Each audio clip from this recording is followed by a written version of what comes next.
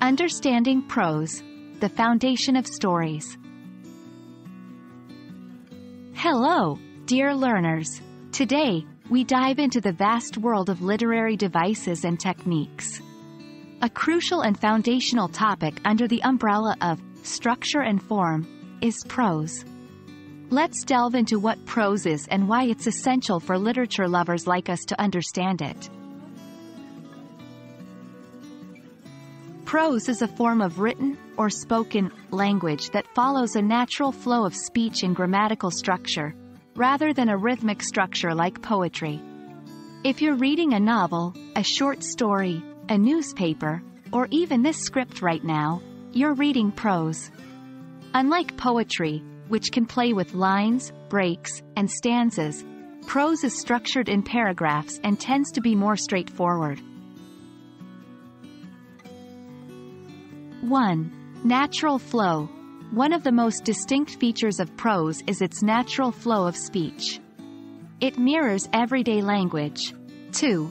Paragraph structure. Prose is structured in paragraphs. Each paragraph introduces a new idea or event. 3. No fixed meter. Unlike poetry, prose doesn't rely on a rhythmic pattern or meter. 4. Detailed descriptions. Prose allows for in-depth descriptions, which can set the scene, describe a character, or explain a concept at length. 5. Flexibility. Prose offers writers a lot of freedom. They can play with sentence length and structure, choose a narrative point of view, and experiment with style and tone. 1. Fiction. This includes short stories, novellas, and novels. They're imaginative narratives that aren't based on real events. 2. Nonfiction. Works like essays, articles, biographies, and memoirs fall under this category. They're based on factual information and real events. 3. Heroic prose. A literary work that tells a story about myths or legendary heroes. 4.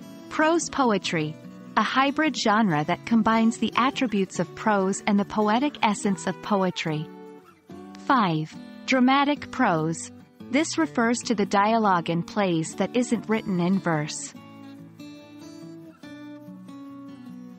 Prose is everywhere, from the books we read for leisure to the emails we write at work.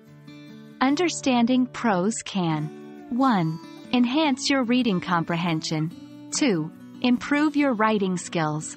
3. Help you appreciate the depth and breadth of stories. 4. Make you a more effective communicator in daily life.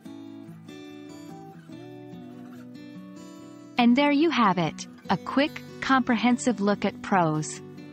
I hope this video clarifies the concept and significance of prose in literature and daily communication.